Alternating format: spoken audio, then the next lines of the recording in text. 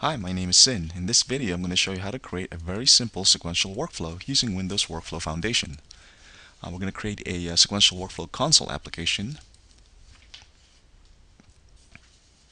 And when you create that project, what it does is it creates a blank sequential workflow uh, where you can drop your code activities. So I'm going to go ahead and drop three of them. And a sequential workflow is just that. It's a piece of workflow. It's a code. Uh, it's a code that will execute one after the other. So we'll create a simple one here that asks for the user's name. And then one, the other one will welcome the user. And the last piece of code here will just wait for the user to press a key. So let's double click the ask for um, name activity. And we'll give the user prompt, please enter um, your name.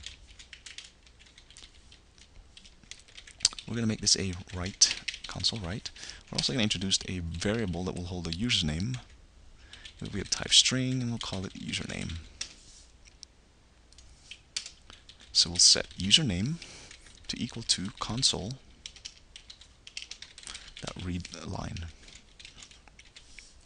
Okay, that completes that activity. Now let's go to welcome user, which just simply prints a welcome message to the screen. Put a line break there. Welcome, whatever the user's name is, this dot username.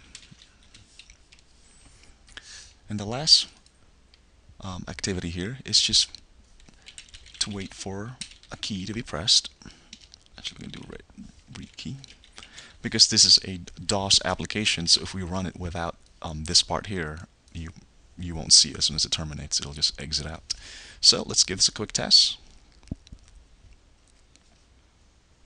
So here's activity number one, asking for the name, and so I'll type in